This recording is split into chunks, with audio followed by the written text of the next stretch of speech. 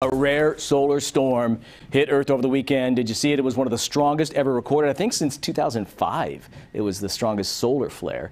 And with it came some stunning displays of the northern lights all across the globe. Here's what it looked like from South Lake Tahoe. Wow, I wish I was up there for that.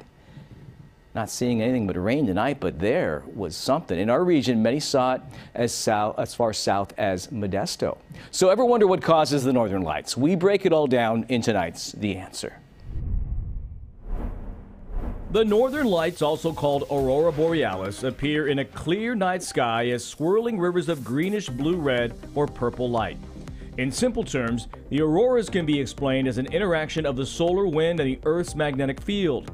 The solar wind is created by charged particles absorbed from the sun.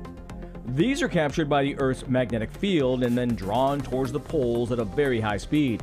The phenomenon occurs when the particles collide with atoms and molecules in the upper atmosphere, transforming kinetic energy into visible light. The bright colors of the northern lights are dictated by the chemical composition of the Earth's atmosphere.